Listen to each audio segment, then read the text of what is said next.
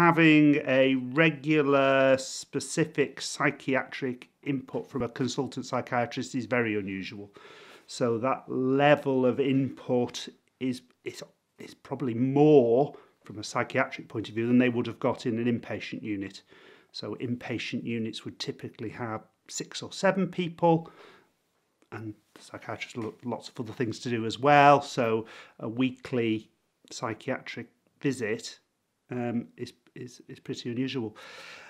The the other thing that's that's different, of course, is this is a house. It's it's a home, so the visits aren't sort of too clinical. So it might be having a cup of tea, seeing how they're doing week by week, rather than a clinical interview. You know, Arrow House was set up by Bryn Melyn for young people with mental health disorders, psychiatric illnesses, who'd been inpatients in NHS hospitals and were coming out of those NHS hospitals and weren't ready to go back to their community but needed a, a level of intervention. So I was involved in the setting up of Arrow House in terms of thinking about what kind of mental health, including psychiatric provision, was needed.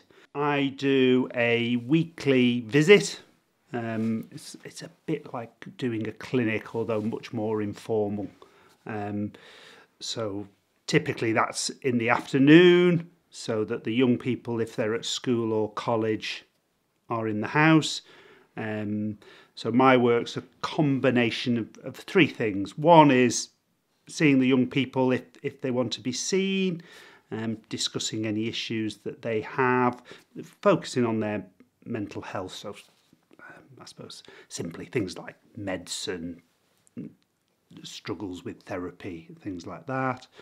Um, another component is talking to the staff if they've got any issues about how to manage things and give advice like that. And then the third component's training and checking that everybody's sort of on track for delivering the sort of combined services for the young people.